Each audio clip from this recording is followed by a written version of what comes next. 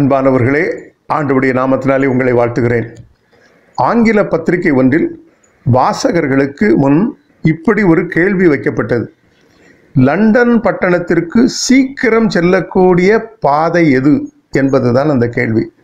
அநேகர் பதில் எழுதினார்கள் பரிசு பெற்ற விடை என்னவென்றால் நல்ல நண்பனை துணையாக கொள்வதே சீக்கிரம் செல்லக்கூடிய பாதை நல்ல நண்பனை துணையாக கொள்வதே சீக்கிரம் செல்லக்கூடிய பாதை என்பது. அருமையானவர்களே நாம் ஒவ்வொரு நாளும் பரம கன நோக்கி பயணித்து கொண்டே இருக்கிறோம். நம் வாழ்க்கை பயணம் இன்பமாக பாதுகாப்பாக வெற்றியாக அமைய நாம் விரும்புகிறோம் அல்லவா? இன்று ஆண்டவரின் அருள்வாக்கு ஏசாயா நாற்பத்தி ஒன்று பதிமூன்றின் ஒரு பகுதி. நான் உனக்கு துணை நிற்கிறேன். நான் உனக்கு துணை நிற்கிறேன். ஆண்டவரை நம் வாழ்க்கை பயணத்தில் துணையாக நாம் கொள்வோமானால் எத்தனை மாபெரும் மகிழ்ச்சி பாதுகாப்பு ஆசீர்வாதம். எப்பொழுது அவர் நமக்கு துணையாக இருப்பார் என்பதை குறித்து திருமறையின் அடிப்படையிலே மூன்று ஆவிக்குரிய உண்மைகளை தியானிப்போம். ஒன்று அவரை நோக்கி கூப்பிடும் பொழுது துணையாக நிற்பார்.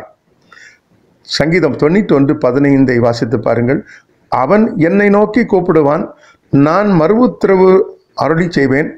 ஆபத்தில் நானே அவனோடிருந்து அவனை தப்புவித்து அவனை கனப்புவேன் துணையாளர் இவது நம்மோடு இருப்பவரையே குறிக்கிறது. நாம் அவர் பிரசன்னத்தை வாஞ்சித்து கூப்பிடும் பொழுது அவர் நம்மோடு இருப்பவராக அல்லது நமக்கு துணையாளராக வருகிறார். ரெண்டு நாளாகவும் பதினான்காம் அதிகாரம் பதினோராம் வசனத்தில் ஆசா என்ற ராஜா இப்படி ஜெபிக்கிறார். எங்கள் தேவனாகிய கர்த்தாவே எங்களுக்கு துணை நில்லும் என்று தன் நெருக்கத்தில் கூப்பிட்டார். கர்த்தர் அவர் சத்தத்தை கேட்டார். அவரது சத்துருக்களை மேற்கொள்ள அவனோடு கூட இருந்தார். யாத்திராகமும் முப்பத்தி மூன்றாம் அதிகாரம் பதினைந்தாம் வசனம் இப்படி சொல்லுகிறது. மோசே வனாந்தர பயணத்தில் தேவனை நோக்கி கூப்பிட்டார். உம்முடைய சமூகம் என்னோடே கூட செல்லாமல் போனால் என்னை இவ்விடத்திலிருந்து கொண்டு போகாதே ஆண்டவர் வாக்கு கொடுத்தார் அல்லவா? என் சமூகம் உனக்கு முன்பாக செல்லும் என்று. நாமும் ஒரு பிரசனத்தை வாஞ்சித்து கூப்பிடும் பொழுது அவர் துணையாளராக இருக்கிறார்.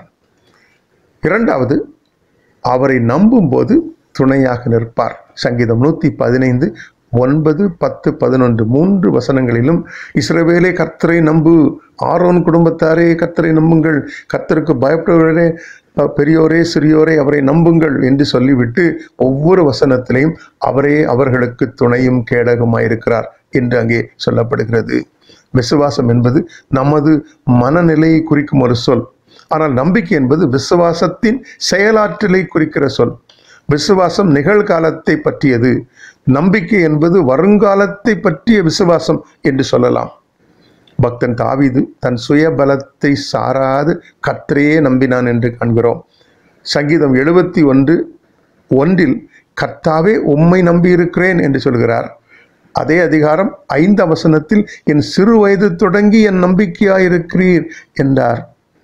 எனவே தான் தாவித ஒரு பெரிய பாக்கியம் பெற்றார். நாற்பத்தி ஆறாம் சங்கீதம் முதலாம் வசனத்திலே அதை வெளிப்படுத்துகிறார். தேவன் நமக்கு அடைக்கலமும் பலனும் ஆபத்து காலத்தில் அனுகூலமான துணையுமானவர் என்று அங்கே அறிவிக்கிறார். மூன்றாவதாக பரிசுத்தமாய் வாழும் பொழுது துணை நிற்பாராம். ஏசாயா தீர்க்கதரிசியின் புஸ்தகம் நாற்பத்தி ஓராம் அதிகாரம் பதிமூன்றாம் வசனத்தை வாசித்து பாருங்கள். பயப்படாதே நான் உனக்கு துணை நிற்கிறேன் என்று கர்த்தரும் இஸ்ரவேலின் பரிசுத்தரமாகிய உன் மீட்பர் உரைக்கிறார். துணை நிற்கிறேன் என்று சொல்கிறவர் யார் என்று அங்கே சொல்லப்படுகிறது.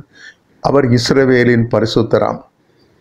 நான் பரிசுத்தர் ஆகியால் நீங்களும் பரிசுத்தராக இருங்கள் என்று சொன்னவர். இஸ்ரவேல் பரிசுத்தமாக அல்லது பிரித்தெடுக்கப்பட்ட மக்களாக தங்கள் விடுதலை பயணத்தில் நிலைத்திருந்த போது சத்துருக்கள் அவர்களை மேற்கொள்ளவே முடியவில்லை. மோவாக்கிய அரசனும் பீலயம் என்ற தீர்க்கதரிசியும் இணைந்து இஸ்ரவேல் மக்களை எப்படியாவது மேற்கொள்ள வேண்டும் அல்லது சபித்து விட வேண்டும் என்று பிரயாசப்பட்டார்கள். ஆனால் தேவன் அவர்களை அனுமதிக்கவில்லை. எண்ணாகம் இருபத்தி மூன்று இருபத்தி ஒன்றை வாசித்து பாருங்கள். இப்படி சொல்லப்படுகிறது. அவர்கள் தேவனாகிய கத்தர் அவர்களோடே இருக்கிறார். ராஜாவின் ஜெய கம்பீரம் அவர்களுக்குள்ளே இருக்கிறது. எண்ணாகும் இருபத்தி மூன்று இருபத்தி மூன்றை வாசித்து பாருங்கள். யாக்கோபுக்கு விரோதமான மந்திரவாதம் இல்லை. இஸ்ரவேலுக்கு விரோதமான குறி சொல்லுதும் இல்லை. எண்ணாகமும் ஆனால் எண்ணாகமும் இருபத்தி ஐந்தாம் அதிகாரத்திற்கு வரும் பொழுது இஸ்ரவேல் ஜனங்கள் பிரித்தெடுக்கப்பட்ட மக்களாக வாழாமல் மோவாப்பியர்களோடு கலந்து விடுகிறார்கள். அப்பொழுது அவர்களுக்கு தேவன் துணை நிற்கவில்லை என்று நாம் படிக்கிறோம். நம் வாழ்க்கை பயணத்திலும் அவர் நமக்கு துணை நிற்கிறவராய் இருப்பார் என்றால் அவரது ஜெய கம்பீரம் நமக்குள்ளே இருக்கும் அல்லவா? அவரை அவருடைய பிரசன்னத்தை வாஞ்சித்து இன்று கூப்பிடுவோம். அவரை நம்பி பற்றி கொள்வோம் பரிசுத்தமாய் காத்து கொள்ள அவர் ஆளுகைக்கு அர்ப்பணிப்போம். நான் உனக்கு துணை நிற்கிறேன் என்ற வாக்கு தத்துவத்தை நம்முடைய வாழ்க்கை பயணத்திலே இன்று நமக்கு உரிமையாக்கி கொடுக்க விரும்புகிறார். நான் உனக்கு துணை நிற்கிறேன். ஆமேன். நாம் ஜெபிப்போம்.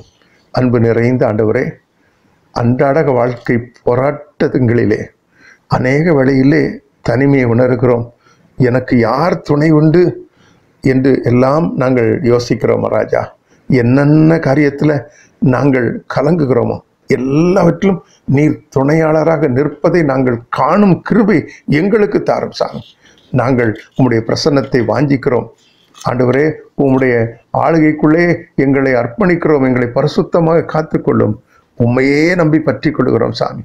ஆண்டவரே இந்த காலை வழியிலே நீர் எங்களோடு துணையாக வாரும் இந்த புதிய நாளையும் நாங்கள் உமக்குள்ளாக மகிழ்ச்சியோடு ஆசிர்வாதத்தோடு கடந்து செல்லு. உம்மை மகிமைப்படுத்தும் கிருபையை எங்களுக்கு ஈவாக தாங்க. இயேசுவின் நாமத்தில் கேட்கிறோம். நல்ல பிதாவே. ஆமேன். ஆமேன்.